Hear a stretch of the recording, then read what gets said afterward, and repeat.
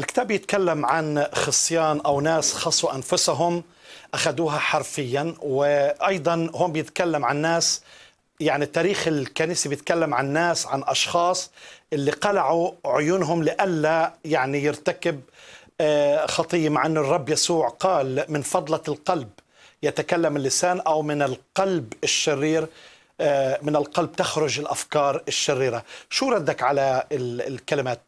قطع اليد الرجل قلع العين. في الحقيقة واضح أن المسيح لم يكن يقصد المعنى الحرفي لأن أنا لو قلعت عيني اليمنى زي ما بيقول في مثلا في متى خمسة إن أعثرتك عينك اليمنى طب أنا هبص بالعين اليسرى. طب ولو قلعت العينتين طب ما أنا عندي خيالات ممكن تتخيل أكثر مما أرى بعيني. إذا المسيح يقصد قطع الخطية من منبعها من جذورها. من جذورها. لكن ليس معنى ذلك ان وإلا لو كنت كل عضو هيعصرني هشيله فهشيل عينيا وبعدين هقطع ايديا وبعدين اقطع رجليا وبعدين لساني كمان هقطع لساني وبعدين وداني. وفي النهاية هموت كلي. وهذا في الحقيقة ما تم شرعا في صليب المسيح. فأنا مش محتاج أعمله تاني لأن المسيح لما اتصلب هو ما اتصلبش لوحده لكن أنا اتصلبت مع المسيح صلبت.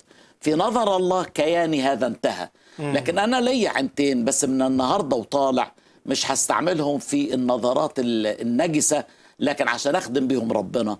عندي إيدين مش هستعملهم في السرقة مثلا لكن إني أعمل الصالح بيدي لأعطي من له احتياج.